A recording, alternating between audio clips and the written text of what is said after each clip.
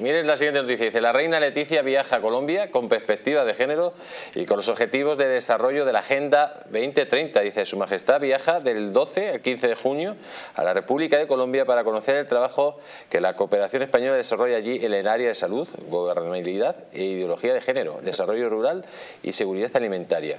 ¿Pero de qué medios son esas noticias? Pues tengo curiosidad absoluta, ¿eh? Bueno, eh, es que viaja precisamente por eso. no, no, que sí, pero... La agencia, a ver, vamos a ver ya con las noticias, porque la agencia española hace allí una serie de desarrollo y una de, las cosas que hace la, cooperación española es sobre el tema de ideología de género. eso primero. Y la Agenda 2030. Primero, esos son viajes que se los imponen, digamos, a, la monarquía, que tienen que ir ahí a Colombia a hacer eso. La Agenda 2030... Pero, la noticia no miente tampoco. La Agenda 2030 no es un problema ni de la monarquía española ni de tal, es empieza por Bruselas por esa, esa funcionarios de Bruselas que no tienen, como ganan mucho dinero y tienen mucho tiempo libre, hacen estas chorradas ¿eh? de que tenemos que si comer menos carne, que si empobrecer a la gente, que si el campo no sé qué, que si la agricultura tal, que si el arroz español, que si los tomates de Marruecos, o sea, la fresa española, estas, estas, estas cosas en las que nos han metido y de las que hay que sacar, si tienes dos dedos de frente, sales de ahí, porque son todo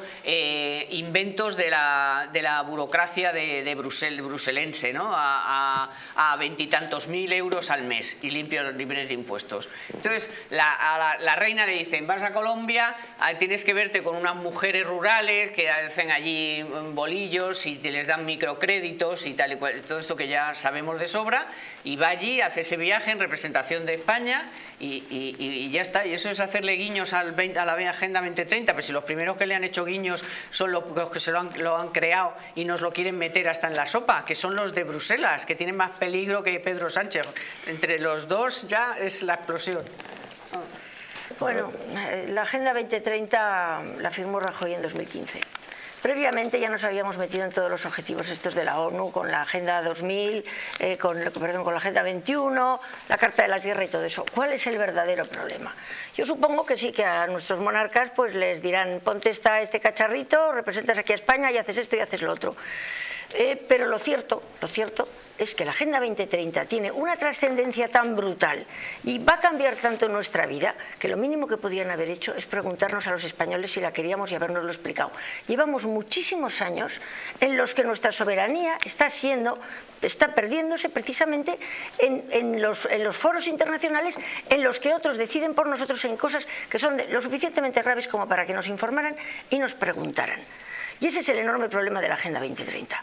Y todo lo que nos va a venir en estos años, preparémonos, va a ser tremendo, porque en este momento no solo tenemos un ministerio, un montón de organismos, pero, pero es que nadie se puede hacer idea. En el último libro pongo casi una página de organismos que tenemos en España dedicados a mover la Agenda 2030, aparte del Ministerio de Asuntos Sociales y Agenda 2030, que se llama, y el de Transición Ecológica y todas esas majaderías.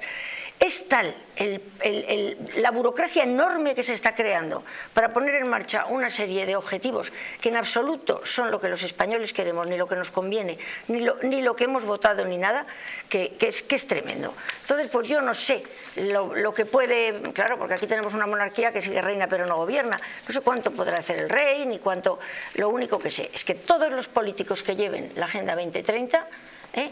Tengamos en cuenta que están buscando mm, otros intereses que no son el bienestar de los españoles. Pues aquí muy rápido porque vamos... Rapidísimo. Una de las funciones clave de la monarquía española es la representación del Estado español. Es una de las funciones clave, evidentemente. Entonces, eh, está haciendo su función cuando la reina eh, Leticia o cuando cualquier otra persona o cuando el rey pues viaja a cualquier otro país del mundo porque está representando a España.